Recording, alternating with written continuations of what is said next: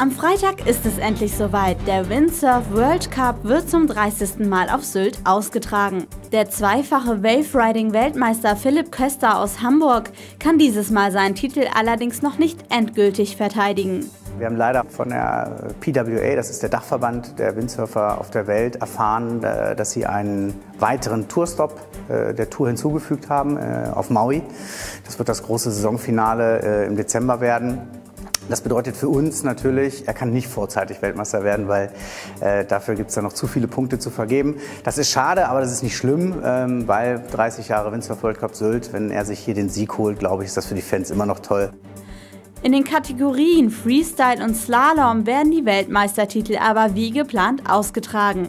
Das Spektakel lockt dabei nicht nur Sportfans. Über 200.000 Zuschauer kommen mittlerweile an den Brandenburger Strand, wenn die besten Windsurfer der Welt aufeinandertreffen.